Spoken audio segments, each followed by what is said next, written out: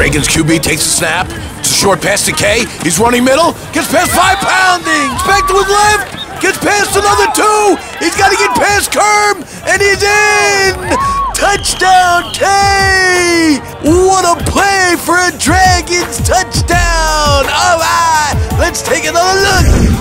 As you can see, as K takes the short pass, he gets by not one, not two, not three, not four, but five poundings. Gets past another four to beat. What a play by K! Right.